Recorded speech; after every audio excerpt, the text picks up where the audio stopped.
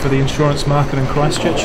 Uh, yes, because it means that the uh, 4,000 policyholders uh, that, that AMI currently have are seen as a valuable resource for insurers. Insurers would not be buying uh, uh, the opportunity to keep policyholders here if they had no interest in the future here. So it is a very positive sign. Have you had any talks with any potential bidders for AMI? Are you aware of those?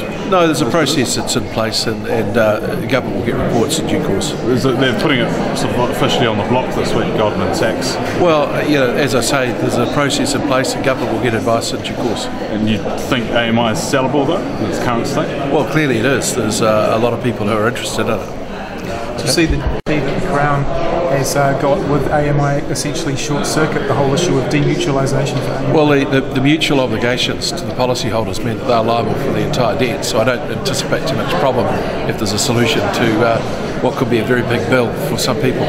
Clearly, that's not a palatable situation. Well, the government's going to pick up that bill, though. Oh, well, it's, discussions are ongoing. Okay.